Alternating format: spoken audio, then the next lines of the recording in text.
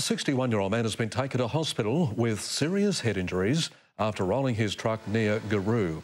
Emergency services were called to the crash 10 kilometres off the Bruce Highway. Primary uh, priority was to eliminate all hazards.